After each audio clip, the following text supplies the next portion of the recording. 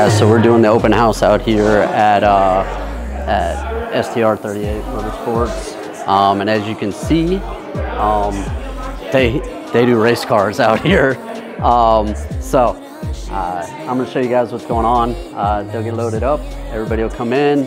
Be a nice big open house with probably just a ton of BMWs. Their their whole uh, inner space here is nothing but race prep BMWs and just a couple street ones. Everything everything here is race prepped, and you know you know how I feel about that. I absolutely love uh, love true purpose-built race cars. So I'm gonna run through. I'm gonna show you guys what's here. I hope you all enjoy. Let me know what you think, and I'm get at it. Thanks.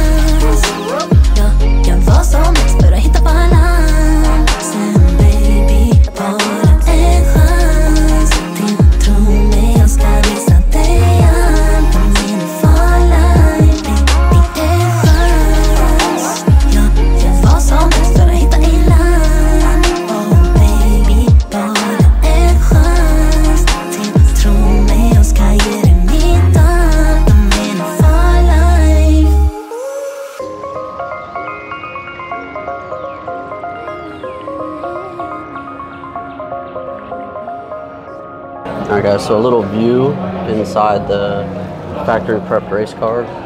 Um, this is a M4 GT4, um, fully race prepped, race prepped from from the factory for the series. Um, it's beyond beyond ridiculous. I mean, as you'd expect for a real race car, it's all stripped out. Everything has a place, has a purpose. Um, you can see the air jacks over there. If it'll it'll focus in on them. See how they have the the pedal relocation here. Um, the full Recaro Halo with Serath harnesses. Um, I mean, it's super, super incredible. Uh, the door itself, which, if you guys ever handle like a, a normal OEM door, you'll know how heavy it is. This one, if I had to guess, is maybe, maybe three pounds total. Maybe. Um, but yeah, so this is uh, this is a, a fully prepped car. Um, I mean, it's it for me. It's really cool to see manufacturers when they make a purpose-built car that they can actually make one that's just not a street car. You know what I mean? So you have the the rear brake ducts that go back through here. Um, everything in the back, again, has a purpose or a place. So you'll see like like even where the fuses go, that is now been tilted up. It has a specific spot. It's easy to get to. Um, everything from the quick releases to the the air jack setup. I mean, this I I know it's not practical, but it like this is the way all street cars should be. Like, No, no, I think the street car. That looks like yeah, that looks street. Yeah. This this though. I didn't know that. Oh. So this is, does this make you a BMW guy? Is this I don't know, bro. no? I don't think so. No? It, I mean, it's really nicely executed. I would I don't know I how they're able to execute with like when these cars have so many electronics and like so much plastic. from the factory. Oh, th- oh, I see. I didn't know that. Yeah, You're gonna kill the battery. it's the- I know, right? Ding, ding. So, but yeah, that's didn't know that. That's really from the factory. Just yeah, like a That's hundred percent. That's hundred percent. So does that classify that it's a street car because it's from factory? No, that one is that one is a hundred percent race car.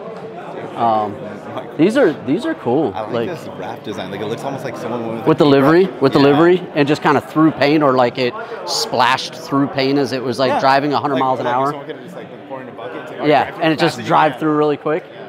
No, it's cool. I like I like the livery.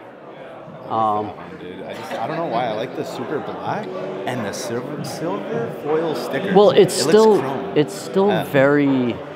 I mean, technically, it's not like street car, but it's it's more tame Yeah. than the full-on race so cars. loud. Yeah, it's it's not. It, you know, you could you could potentially see this on the street, or potentially have something built like this that's still a street car. Yeah, that's what I'm saying. Yeah, yeah, so exactly. Um, but no, this one It's so nice. has has all functional aero. I mean, it, it's a race car. You know, it's all functional, but it looks it looks almost street. Yeah. Right. Like different machining and like that's not OE. Right, right. There's nothing. this and I was Yeah, there's at- nothing. There's nothing in the race car that's like. OE arms and plate, like, and then the subframe and like it's all like tubular. Yeah. I was like, Yeah, it's not. it's funny. uh, When I was outside, there's a CNC machine shop right here. Right like, next oh, door. You're like, lucky. you're like, oh, they just do it next door. I don't know, but that's. I like the carbon Recaro. yeah. the carbon I is wondering that cool. felt since I mean, it gives you it looks so like stiff, like out my back. it gives you the pads like right right in the sensitive areas where you need them. so, I mean, it's pretty cool. We'll see if uh, we'll see if the music. I'm gonna have to. I don't know. I. I, I don't know. Like I'm gonna have to see if the music pops up on me or not.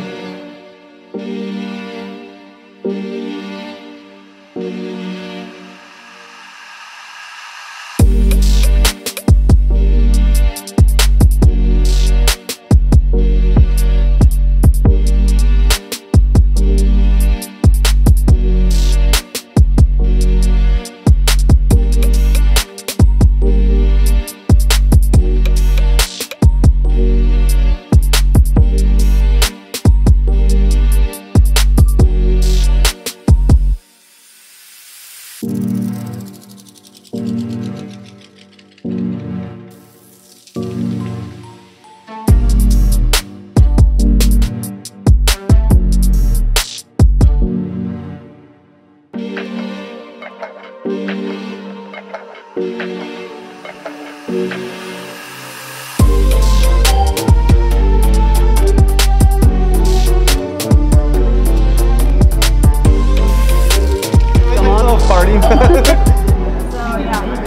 traction control is your map.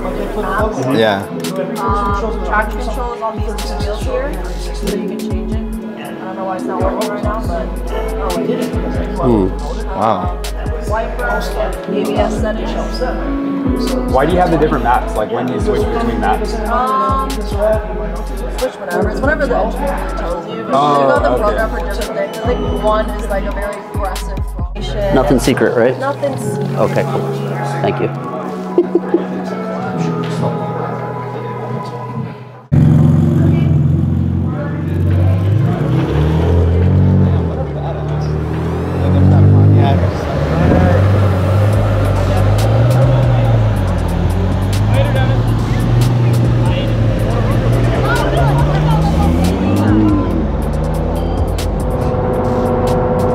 Right, guys. So, uh, so what did you think of that place? Um, that was that was incredible. Um, not what I expected. Um, I I really just I know it was an open house and and you know it was for them and they they do race cars and everything else, but I just I didn't expect to see uh, you know basically an entire you know set of you know factory race cars in there.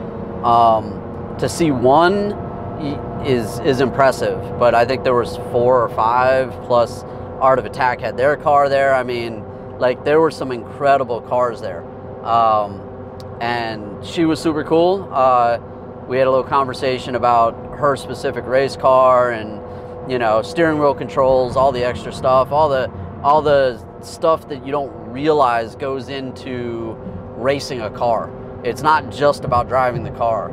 Um, she was talking about how the engineers will let her know to adjust to different ABS features, different traction control, different. I mean, it, she has control of everything on the steering wheel, just like a just like an F1 car. It's the same thing. So she has brake bias, ABS. She has everything from uh, pit speed controls to to whatever, and each little button did something different. And like she like she was telling us, like the engineers will tell her to switch to a different map because they need to save fuel, switch to a different map because it's more aggressive, and literally she does it on the fly while she's racing, um, while she's in the middle of a like a 24 hour you know race at Spa or she's at Monza or some other just hugely iconic location.